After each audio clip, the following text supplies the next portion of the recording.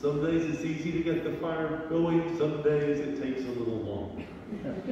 We, we welcome you to the First Existentialist. Yes, dear. Thank you. Thank you so much. Thank you. Good morning. Welcome to the First Existentialist Congregation of Atlanta. We are very glad that each of you has chosen to be with us this morning. We invite you to turn. You will find on your seats or nearby both a multicolored hardcover and a softer covered pink songbook. In the pink songbook, we invite you to turn to number 33 for our opening congregational song, which is This Little Light of Mine. We are delighted today to have with us Susan Otson as our pianist, and also harpist later on, and Don Erdman, who will be joining in on a couple of special numbers. So, please turn to number 33 and sing out. And we come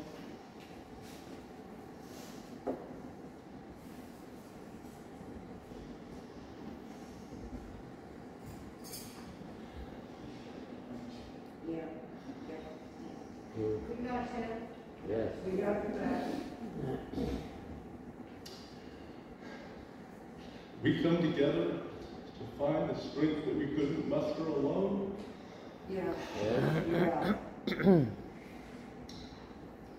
Our opening words today come from stories of Buddhism. One day, while walking quietly together, out of the silence, the Buddha's attendant, Ananda, declared, Teacher, to have companions and comrades on the great way is so amazing. I have come to realize that friendship is of an authentic spiritual life. Hmm. They proceeded along quietly for a while more before, out of that silence, the Holy One responded, No, dear one, without companions and comrades, no one can live into the deep, finding the true harmonies of life to achieve authentic wisdom. To say it simply, friendship is the whole of the spiritual life. Wow.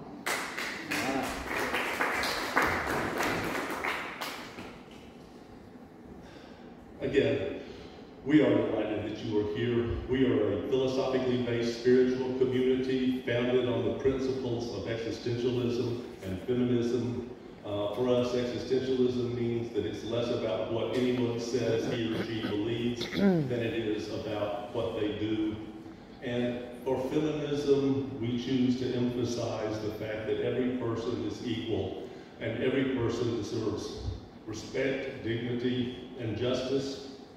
Yes. We recognize that the land where we sit now and this building were built in response to acts of aggression and pushing, um, whether we are thinking about uh, more older times when the uh, indigenous people lived here, or more recently when the African American community built this stone building uh, after their first two wooden buildings burned under mysterious circumstances.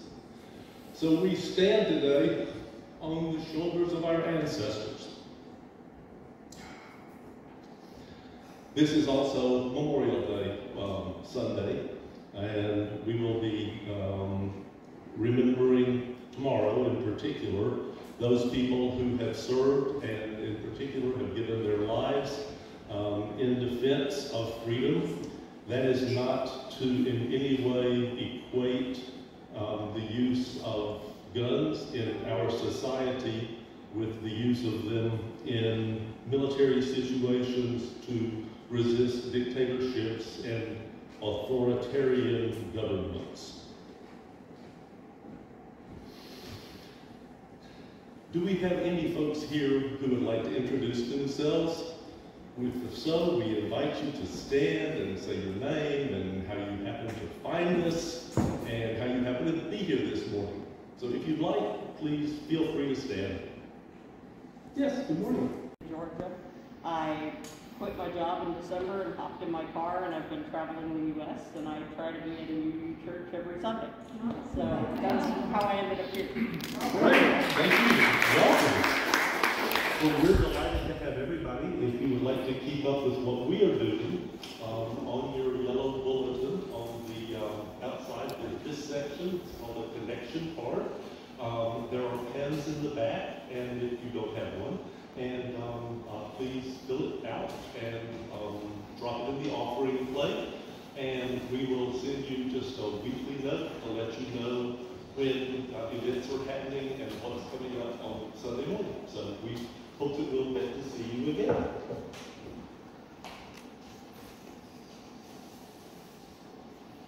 Uh, do we have any birthdays or anniversaries?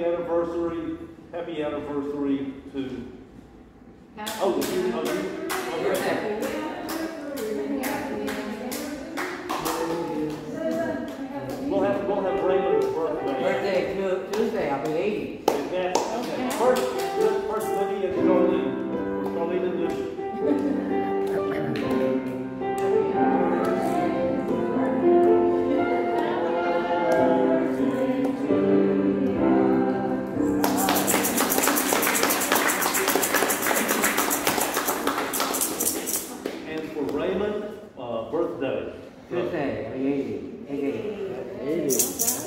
All right. Ready? Happy birthday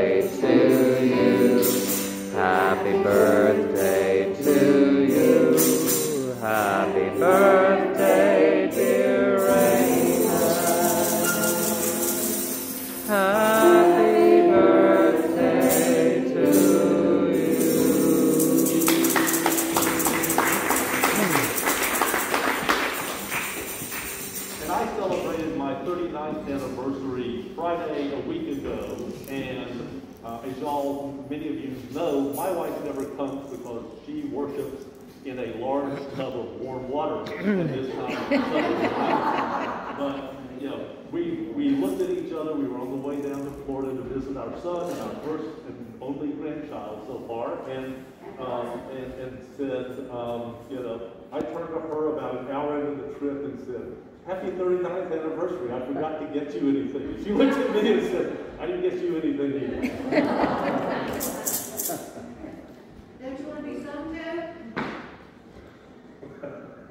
a Carol back here. We'll, we'll, we'll make do this year. For our 40th, I'll stand up.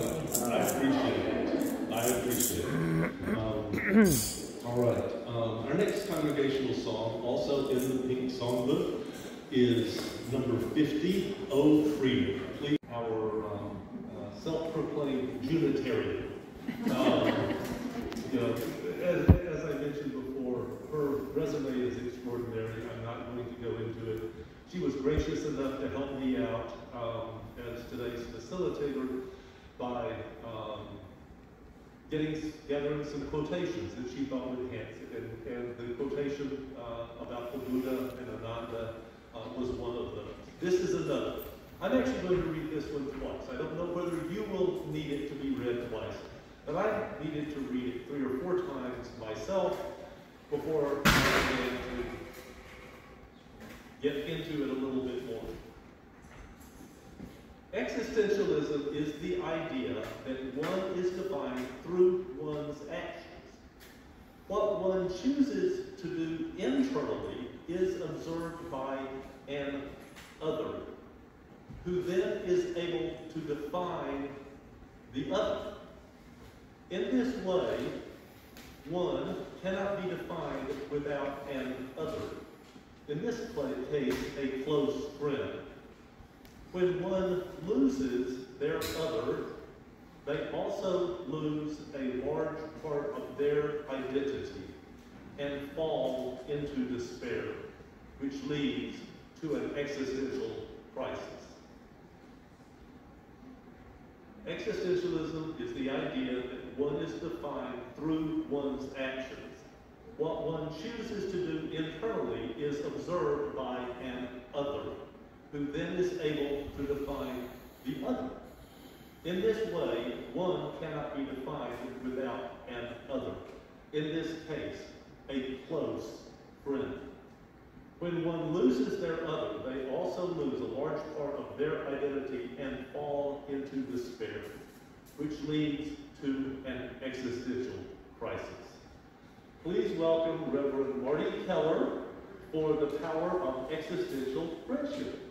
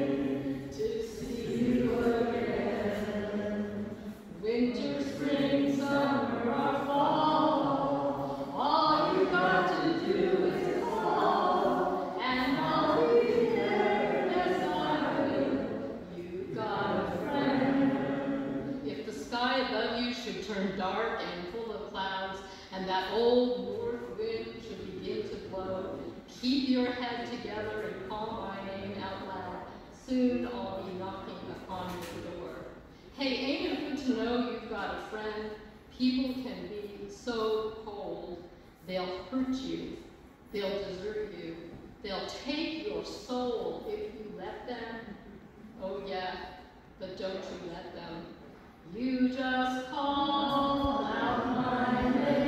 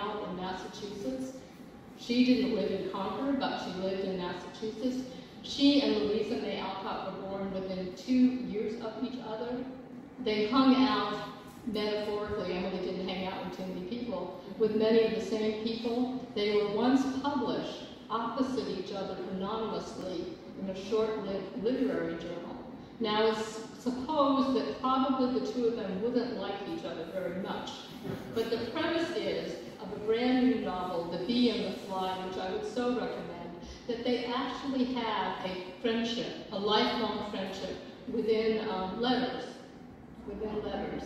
Um, and I, when I heard about this book, I eagerly ordered it I read it frantically last week. So it was about their relationship with their fathers, about their relationship to writing, about their relationship to the world. Um, a friendship through letters. And then I texted a picture of the cover, which I forgot to bring with me, to my friend, my friend of more than 50 years, my friend Lisa, herself a writer of cookbooks, herself a gardener, herself a raiser of goats, proposing that our friendship was nearly the same as the mythical friendship in this novel between Louisa May Alcott and Emily Dickinson. I know that's presumptuous, but you know me, right? Only our friendship is real. It really is a friendship of two women who considered themselves somewhat literary, who considered themselves to be philosophically aligned. You see, a dozen years ago, I flew off to Trumansburg in New York via Syracuse on a narrow-aisle 50-seater plane, and I landed in that Spartan airport with just a sports bar, a pizza stand, and a candy gun and mass paperback bookstore. I got off that small, bumpy jet plane from Atlanta. I entered that mini airport and I went down the one escalator to the baggage claim, suddenly panicking that I had landed in Schenectady by mistake. And that my friend Lisa, my second college roommate in Stern Hall, UC Berkeley, California, 1966, would not be there to greet me because I was in the wrong place, right? I was in the wrong place. I was in the wrong city. And even if I were in the right city, I would not be able to recognize her because I had only seen a tiny Facebook portrait of her recently, and we had not seen each other in the flesh since shortly after I turned 21 years old. Wow. Lisa started school a couple of quarters late, straight from Southern California. Newport Beach, it turns out, though at the time we roomed together, all I knew, or all I remember knowing, was that her father was a very famous physics professor at the university in Irvine, who eventually won a Nobel Prize, and that shortly after she moved in, she started spending a lot of time away from that tiny little dorm room. Truth be told, she spent most of her time away from that tiny little dorm room, from that retro all-women's dorm with the mandatory dress code and the sign-out curfew sheet, with whom I called her motorcycle boyfriend, John. My world then, when she was off gallivanting, going out the window with her boyfriend, John, seemed smaller somehow, but larger somehow, the up and downhill track to Eshelman Hall, the sixth floor Daily Californian daily newspaper office, where there were manual typewriters, rimmed coffee desks, seniors smoking cigarettes, editing half sheets of copy on cheap beige paper, me, a newbie in Underland, a freshman assigned to put together the calendar with colloquium and underground foreign film screenings, all, all four years in an atmosphere of tear gas and riot gear. Lisa, who was then and is now a gifted artist and a nurturer of children and other living things, recalls that when she met me, she was feeling unformed. How many of you can relate? Unformed.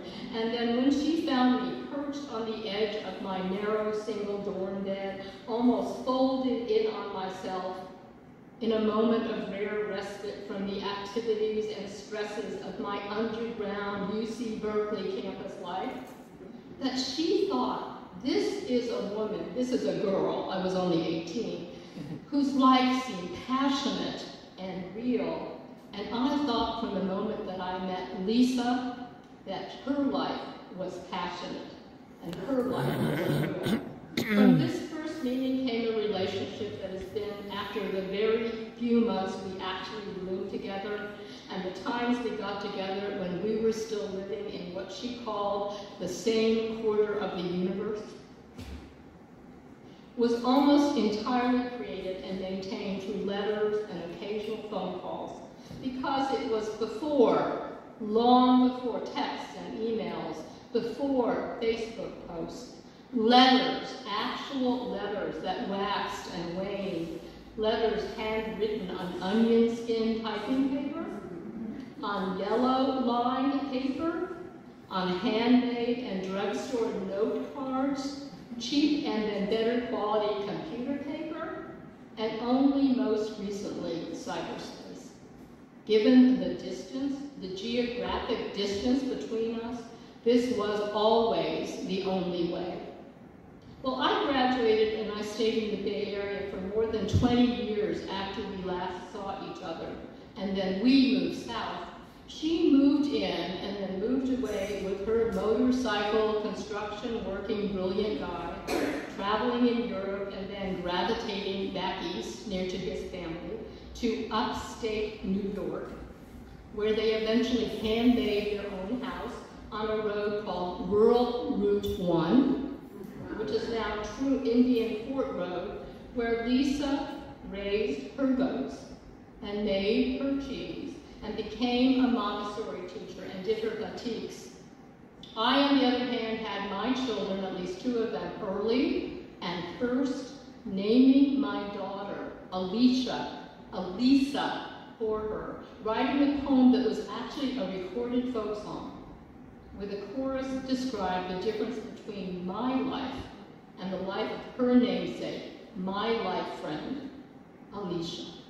Alicia, I want you to know that you were named for the journey I did not make into dairyland in sandals with farming books, a harp, and a loom, and a backpack full of dreams. The letters we wrote each other were filled with stories about our personal lives, musing, for example, about whether post-graduation we would actually be working in the same pancake house with our fancy degrees. How Lisa and John, who eventually became her husband, had to live for a while with a 60-year-old widow in a giant Victorian house, exchanging room and board for being her maid and her butler, her house cleaner, her handyman, her confidants, her surrogate children, eating spaghetti and butter with a side of macadamia nuts night after night. How I tried to fit my journalism and my poetry in with sick children, always sick children, endless housekeeping and city vegetable gardening. How glad we were both to see the 1970s decade end how peculiar it was, she wrote me. How we were tumbling into the 1980s with more hope. How I decided to divorce. How she decided to have children. The years when the correspondence trickled on one side or the other. One year me writing that, quote, there is no excuse for not having written you except a badly broken foot, a car arson, a move, and a second wedding. Please write soon. We would both sign off. Take care. Take good care. It wasn't until 1991, 20 years after we probably last saw each other, that either one of us mentioned in our letters the extraordinary, you gotta admit, the extraordinary outside events that surrounded our young adult years.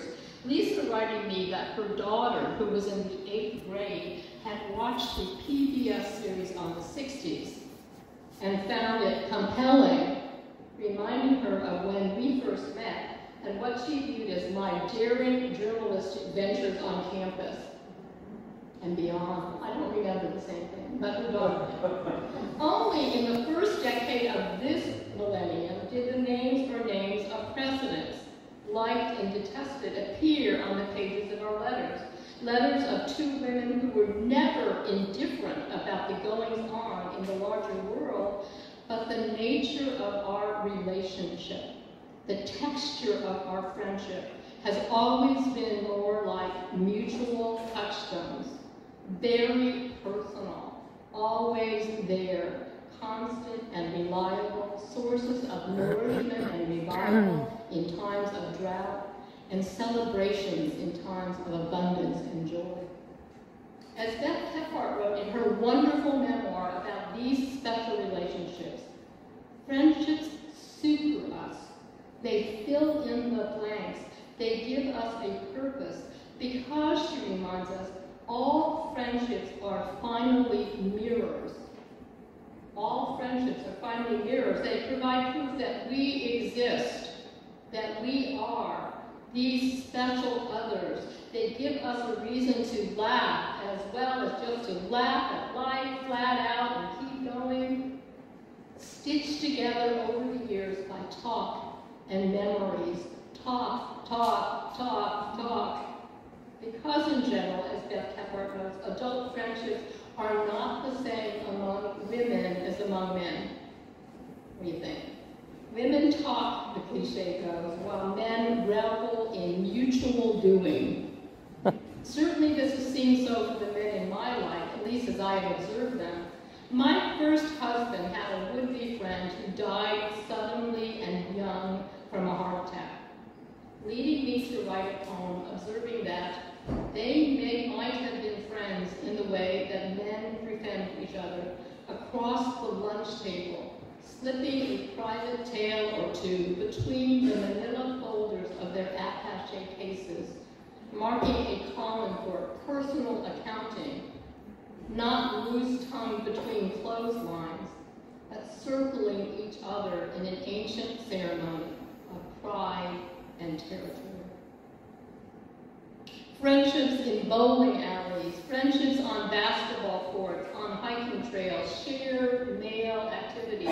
According to Jeffrey Freed, author of Buddy System Understanding Male Friendships, while women might enjoy getting together over lunch, men are usually more comfortable meeting over a shared activity. When men meet, he says, they're not sharing, often they're not sharing anything personal at all. So he tells a joke or a story about a man who goes over to his friend's house for a couple of hours and comes home and his wife asks him about his friend's divorce, recent divorce, and the man says, it never came up. we are told that friendships between men and women are different from same-sex ones, no one like the other. We all have circles of friends, friends from our childhood, friends from our religious communities, our neighborhoods, mothers and fathers of our children's friends, some longer lived and more significant than other. My mother said that friendships were for, for the road, a very short road. Friends like Joanne and Dee, I met them in my children's daycare. The athletic, bright, but not intellectual girls I would have felt so threatened by in high school and college. They were so much more comfortable than me, to put it mildly, on the tennis court, swimming, jogging, or hiking, or in wet weather, sewing and other handwork that always brought me to frustrated tears.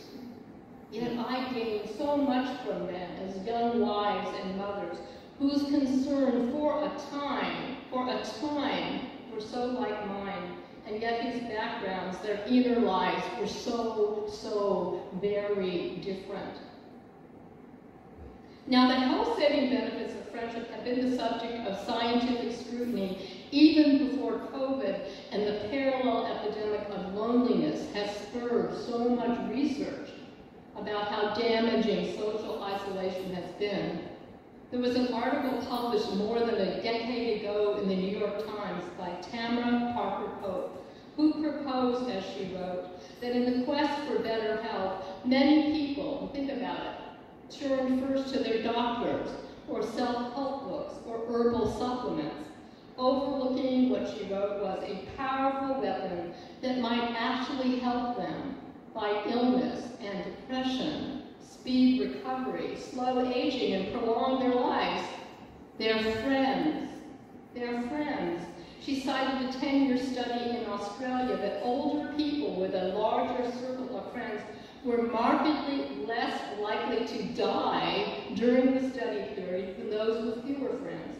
In the same case, the reporter cited a study of nearly 3,000 nurses with breast cancer, which found that women without close friends were four times more likely to die from the disease as women with 10 or more friends.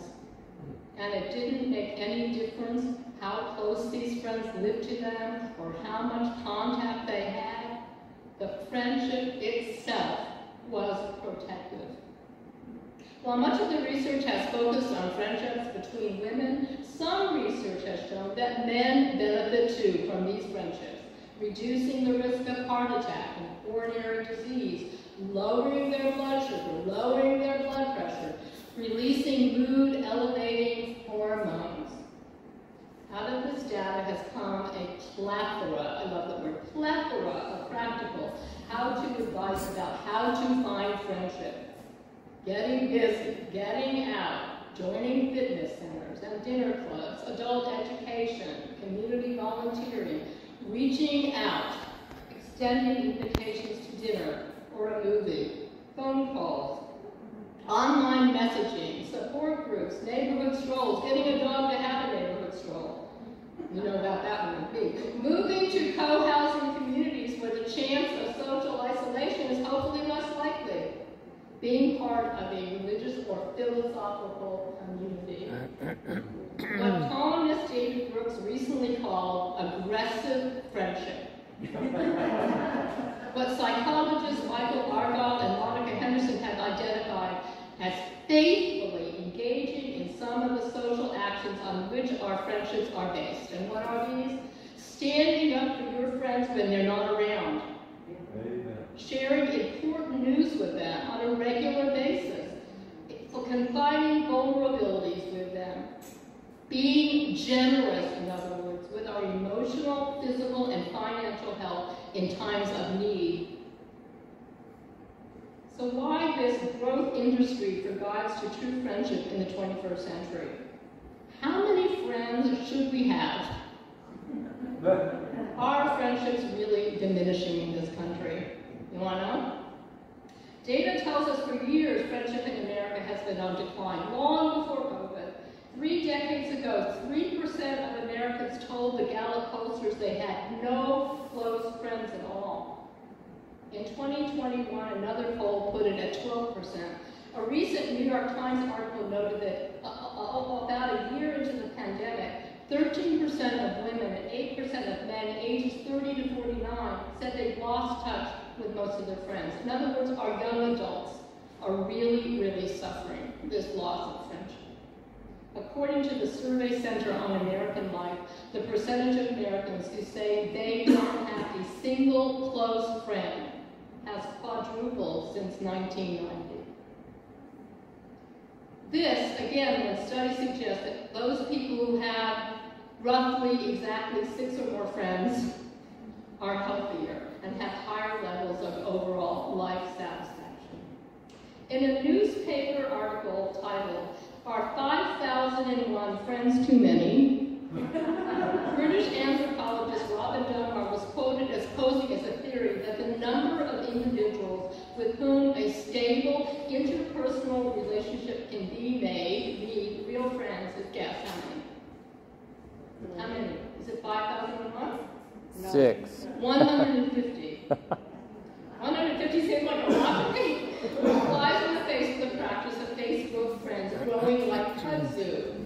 Now, these friends that grow like kudzu on Facebook might provide business and social networking activities that fail to substitute for actual human contact on a manageable scale and the cultivation of real, generous friendship.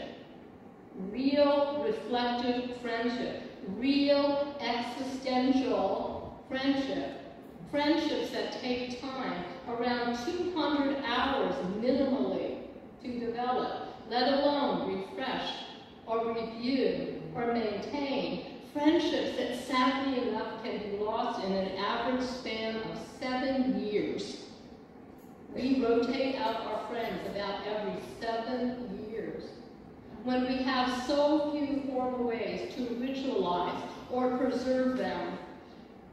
Possibly, just imagine this, celebrating and cementing our friendship anniversaries, perhaps. Annual gatherings at lake houses or ocean cottages, perhaps. Sunday night phone calls. Packets of letters tied with brown string or lavender ribbon like the fictional Emily Dickinson and Louisa May Alcott, or my actual friend Lisa and me. Friendship where one writer observed the person gives you back the feelings you you wish you could give yourself. And seeing the person you wish to be in the world. Seeing the person, really seeing the person you wish to be in the world. We used to call it unconditional positive regard from a precious other, a precious other who's our friend. Well, when I finally found my friend Lisa, and I did after a short time, at the bottom of the escalator in the Syracuse airport, the decades slipped away. We spent the next three days walking her country road, now paved and named, looking for egrets, drinking tea, drinking in the joy, the sense of being made whole. And still we text or talk now nearly every day, especially now in these COVID-steeped, COVID-suspended times, especially as we get older when so many of our friends are ill or dying or dead. And now in this world which is such hell, we talk or we text nearly every day. In the words of poet and spiritual teacher Andrew Harvey, coming to experience and celebrate the holiness of sacred friendship and to be grateful for the wisdom of your friends increases your faith in life. And isn't that an existential and feminist concept? Increases your faith in life and your capacity for skillful action. And from the poet Rumi, whatever fires the heart is a ray for my friend. May it be so.